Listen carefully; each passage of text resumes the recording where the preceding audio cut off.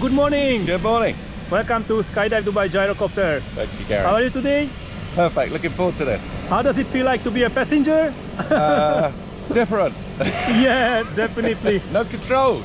Yeah, I know it's very bad. It happened to me. Yeah. My name is Gary and I will show you Dubai from the sky. Ready? Ready? Let's, Let's go. go.